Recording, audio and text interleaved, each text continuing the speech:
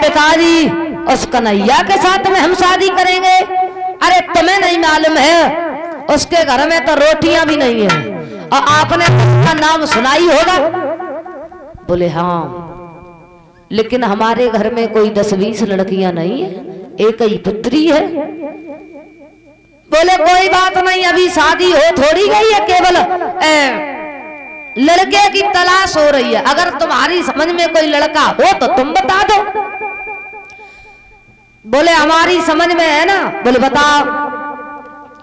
बोले, अपना रिश्तेदार है, भला परिवार है। बोले, अपना रिश्तेदार कौन सा है? बोले, पिताजी, अगर आप नहीं जानते हैं तो मैं खुद तुम्हें बता रहा हूँ। तुम्हें नहीं मालूम है क्या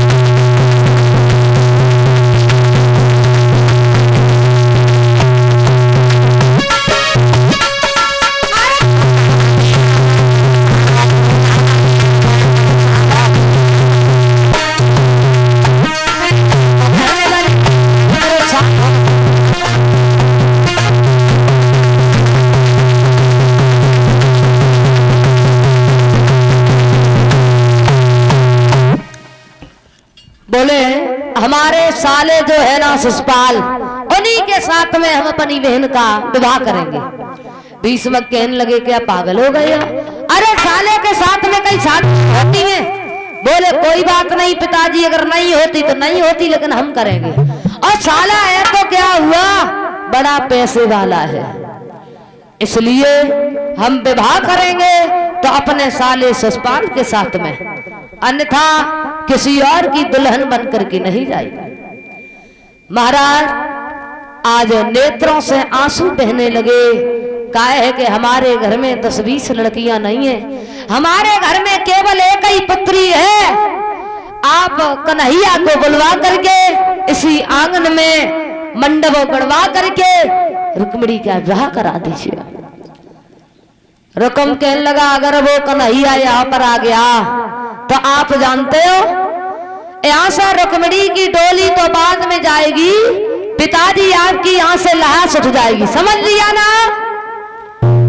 विवाह होगा। तो रुकमणी का हमारे साले ससपाल के साथ महाराज, अब तो भीष्म रोने लगे हैं, लेकिन कोई भी बात नहीं मानी।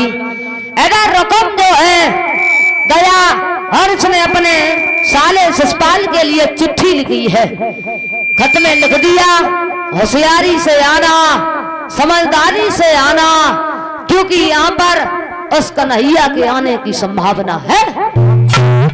पत्र जो था तो भिजवा दिया है, नाई ब्राह्मण लेकर के चले, और इधर महाराज रुक्मिणी ने जब सुना है कि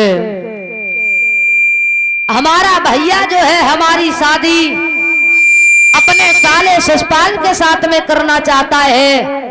तो महाराज, आज तुरंत ही रुक्मिणी जो है, अपने कक्ष में पहुँची, रोने लगी है। नेत्रों से आँसू बहने लगे। अब क्या होगा? महाराज, रुक्मिणी रोती रोती वहीं सो जाती है। तो भगवान ने सपना दिया है रुक्मिणी। चिंता न करो लिए पत्र भेजवा देना। तुरंत हम तुम्हारे पास में चले आएँगे।